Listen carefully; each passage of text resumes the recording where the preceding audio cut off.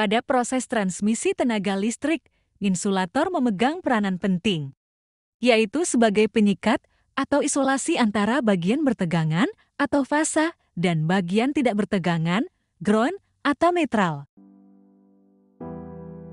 Insulator juga berfungsi sebagai pemegang konduktor bertegangan listrik, sehingga harus memiliki kekuatan tarik atau topang dan daya isolasi yang baik.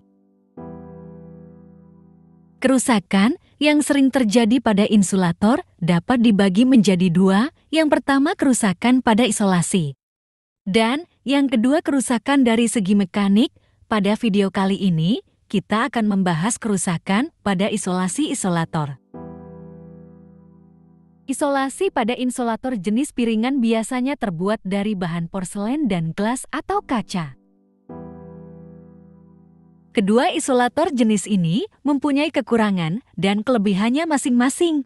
Berikut adalah beberapa jenis kerusakan isolasi pada isolator.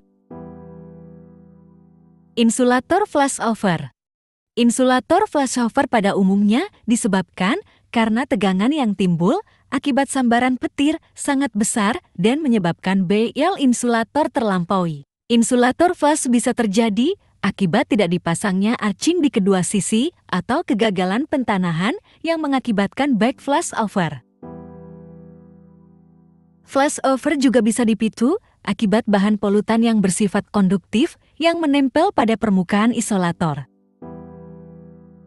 Kotora bersifat konduktif dapat menyebabkan loncatan-loncatan listrik pada permukaan isolator dan dapat menyebabkan fatik pada isolator jenis kaca dan polimer. Pada isolator flash, biasanya terdapat luka seperti bekas las pada ujung metal dan piringan isolator. Banyak isolator kaca yang pecah, tapi tidak ada tanda-tanda bekas flash pada bodi metal. Dari sini, kita bisa analisa, penyebabnya bukan karena petir. Isolator kaca dapat pecah sendiri akibat terjadi pemuaian akibat perubahan suhu udara panas dan dingin dan fatik akibat corona. Di sekolah kita pernah diajari tentang resonansi benda akibat suara.